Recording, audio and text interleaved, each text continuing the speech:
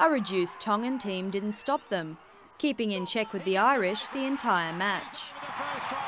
Tongan players have been warned to smarten up for their match against Samoa this Friday, following the sin binning of two key players.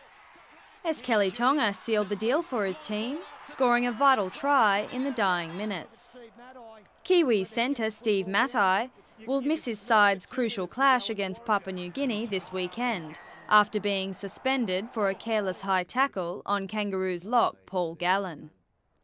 Australian fullback Billy Slater has been warned to watch his habit of sliding feet first in an effort to stop try scoring opponents. In cricket, the Australians remain confident for their third test match against India that starts tomorrow. I think India's playing very good cricket at the moment, uh, but in saying that, I know Australia's really looking forward to this test match. Uh, our preparation yesterday and today has been fantastic. India thrashed them by 320 runs in their last match.